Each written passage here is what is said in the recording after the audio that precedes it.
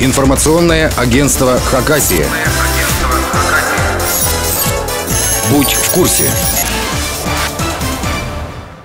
Мы очень рады тому, Надежда Сергеевна, что вот а, есть такая возможность, появилась такая возможность а, в ходе рабочего визита вы сегодня, значит, у нас, и мы вам можем задать вопрос, очень актуальный для Хакасии вопрос. Он очень актуален, потому что Хакасия пережила непростой год.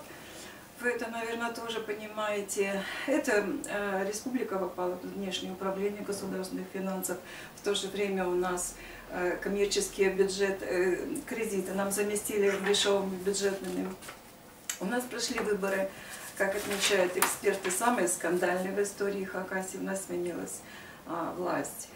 Э, вот вопрос а, какой возникает? Как мы проживем следующий год? А, финансовый вот такой прогноз на следующий год.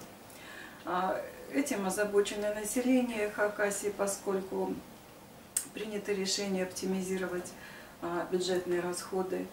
Вот. И поэтому возникает вопрос об уровне бюджетной обеспеченности Хакасии на следующий год. Вот э, изменился ли этот уровень? Может быть, сравнить с регионами Сибирского федерального округа, чтобы мы понимали, следующий год такой же сложный будет в финансовом плане, или чуть, ну или спокойно мы его проживем. Ну, вы знаете, что, ну, во-первых, хочу сказать, что не совсем правильная формулировка, когда мы говорим о внешнем управлении финансовым, потому что на самом деле это совершенно другая э, как бы методика, когда внешнее управление вводится, то есть это должны вам прислать из федерального центра конкретных управляющих, которые будут распоряжаться бюджетом вашим и контролировать все э, статьи расхода. А у нас введено казначейское сопровождение, так называемое. То есть в данном случае это просто дополнительный контроль, когда наши э, органы э, исполнительной власти и финансисты, естественно, финансируют расходы, они и так это сами делают, но казначей еще раз дополнительно проверяет, нет ли задолженности по заработной плате, не финансируем ли мы какие другие статьи, кроме заработной платы, если вдруг у нас есть задолженность по ней. Вот идет о чем речь. Поэтому совершенно неправильно говорить, что наша республика под внешним финансовым управлением. Это, это не мы говорим, это эксперты говорят. Мы не сами по себе, это, это термин. Ну, вот давайте мы не будем спорить, я Хорошо. просто вам говорю как финансист о том, как Хорошо. это записано в бюджетном кодексе и в прочих э, законодательных э, документах. А, второе. Что касается бюджета республики. А, да, в этом году мы, нам удалось, кстати говоря, ну, тому кабинету министров, который работал, и исполняющим временные обязанности Развожаю Михаилу Владимировичу, я подключалась тоже к этим проблемам. Нам удалось несколько выправить ситуацию в республиканском бюджете, потому что были договоренности с соответствующими Э, структурами и конкретными лицами, которые внесли дополнительные ресурсы в наш бюджет. И сейчас, в конце года, вот буквально на днях, мы получили еще дополнительно миллиард двести миллионов рублей в наш тоже бюджет. Это те средства дотации на сбалансированность. Это имеете в виду в э, НДФЛ Худайнатова? Нет, э, ну НДФЛ Худайнатова, mm -hmm. да, это которые получили mm -hmm. в течение да. года. А я имею в виду вот сейчас миллиард двести, которые мы получили дополнительно из федерального бюджета, mm -hmm. дотация на сбалансированность. Всего распределялось 18,7 миллиардов рублей по регионам, из них миллиард двести это получила Республика Хакасия. Э, но вы знаете, что были сложности и с Черногорском и так далее, так что у нас как бы вот сейчас это возможность э, заработной платы рассчитаться и с даже частично с ФОМСом, то, что у нас долги были перед фондом обязательного медицинского страхования, перед по неработающему населению. А следующий год сформирован с напряжением, но, тем не менее, мы вошли в нормальные условия, то есть у нас не превышается дефицит бюджета, хоть он составляет 2 миллиарда рублей, но, тем не менее, он не превышает норматив 10%, да. у нас с вами нет превышения по госдолгу, а, это, конечно, в значительной степени помогло то, что реструктуризация бюджетных кредитов произошла, безусловно. Было решение принято, вообще-то мы его вносили неоднократно, вот и депутаты, и я как представитель Союза финансистов России, мы эту тему постоянно будировали.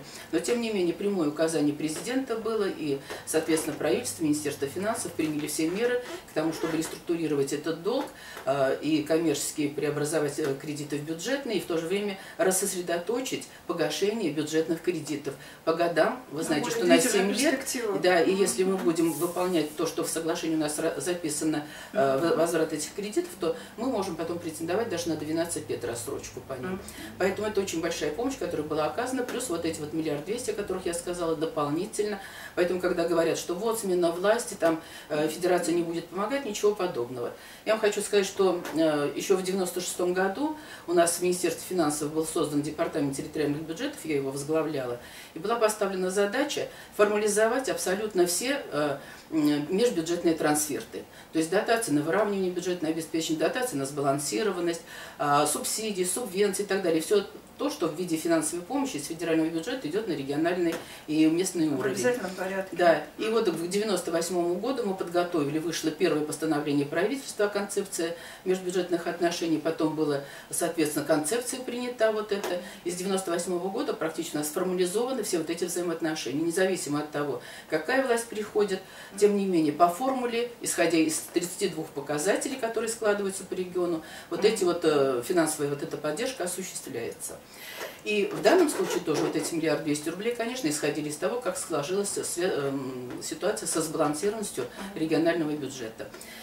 Кстати говоря, на следующий год, когда при формировании э, региональных бюджетов мы учли э, в Государственной Думе ситуацию, когда у нас отменили налог на недвижимое имущество, а это у нас порядка 390 миллионов рублей поступало в республиканский бюджет, и мы замену эту произвели, вот 97 миллиардов рублей в целом распределили по э, Российской Федерации, в том числе 387 миллионов это наша, вот наша республика, которая вот сейчас должна уже получить, это будет возмещение тех выпадающих доходов, которые мы на будущий год не получим по движимому имуществу. Это по следующему году. По следующему году. Но получим мы их в этом году, мы их специально распределили приложением к закону о бюджете на 2019-2021 год. Так что наш бюджет входит э, в э, параметры бюджетного кодекса, конечно, мы предполагаем, что сложности с исполнением, безусловно, будут, потому что все-таки долги у нас еще остались переходящие, не только по кредитам, в том числе и коммерческим, но и по, перед пенсионным фондом и перед фондом э, обязательного медицинского страхования, поэтому нам надо будет все равно продолжать. У нас есть долги по коммунальным услугам, безусловно, перед э, топливоснабжающими организациями. Эти вопросы надо тоже будет решать. Сейчас, пока эти ресурсы предусмотрены, достаточно ли их будет, мы не можем сказать. Это когда уже станет известно? Вы знаете, как, ну, обычно мы по первому кварталу смотрим, итоги первого квартала подводим. Тем более, как правило, первый квартал, особенно январь месяц, он бывает малодоходный.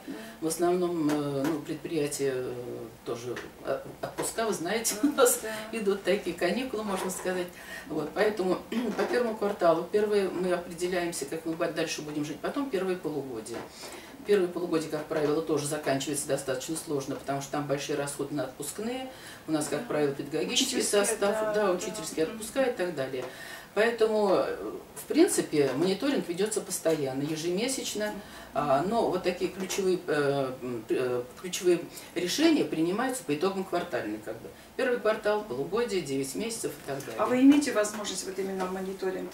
Мониторинг кто ведет? У вас есть такая вот разбивочка или результаты этого мониторинга в каком-то там Мониторинг периоде? ведется на всех уровнях. Вообще, всех? в принципе, наше Министерство финансов, наше Министерство финансов, республиканское, по каждому району, по каждому, в принципе, э, муниципальному образованию есть такая у них То есть информация. у вас есть информация? Да, у нас есть оперативная информация месячная, как складывается ситуация, есть квартальная, полугодовая и так далее далее. И годовая вот будет сейчас, в апреле уже будет годовая, это на уровне федерации. Ясно. А у нас, конечно, это значительно раньше. И, естественно, наше Министерство финансов республиканское отслеживает ситуацию в районах и по расходным статьям, естественно, бюджета. И там, где какие-то прорывные ситуации наступают, то бьют тревогу, либо сами включают свои какие-то мощности, если не хватает, значит, обращаются в федерацию Ясно. за помощью. Ну, вот еще тогда вопрос такой возникает. Вы уже встречались с Валентином Олеговичем? Да, мы встречались. И какие-то проблемы уже вот первоочередные уже Ну, мы встречались как раз накануне принятия в первом чтении бюджета республиканского, обговаривали вот как раз вот эти вот направления, о которых мы с вами говорили, и тогда еще не было окончательно верстки бюджета, потому что не были включены суммы э, из федерального бюджета по национальным проектам, а это большие суммы. Первоначально было это около 4 миллиардов рублей, сейчас я знаю, что вот наши э, защищают органы исполнительной власти с федерацией работают, сейчас уже эта сумма больше 7 миллиардов рублей, рублей, поэтому бюджет в этом плане наш будет наполняться доходами и, естественно, расходные статьи увеличиваются, потому что это в основном национальные проекты, это новые объекты и медицины, здравоохранения, образования, и культуры, а, можно объектно все это уже сейчас формируется. Самое главное, я об этом тоже говорила на сессии Верховного Совета, что очень важно, чтобы наши региональные власти не упустили момент и своевременно заключили соглашение с федеральными органами власти, своевременно провели тендеры, но до 15 февраля все соглашения по нацпроектам должны быть уже подписаны Но мы с федеральными власти. уложимся в этот А, период. ну, я считаю, что задача поставлена, и я думаю, что нам просто грех упустить эту возможность, потому что условия нас проектов, а, ну, они просто, наверное, впервые за всю вот историю, даже на моей памяти, я всегда занимаюсь бюджетом, всегда, а, 99% это средства федерального бюджета, Да, конечно, и только очень 1% выгодно это региональный, поэтому не воспользоваться этим просто будет Ну, у непозволительно. нас, по-моему, только Министерство образования более-менее, да?